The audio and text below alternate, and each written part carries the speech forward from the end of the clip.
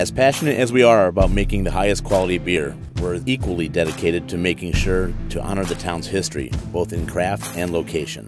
Camas is a special place, resting in the foothills of the Columbia River Gorge. Built on blue collar ideals and grit, we hope to pay homage to those who came before us.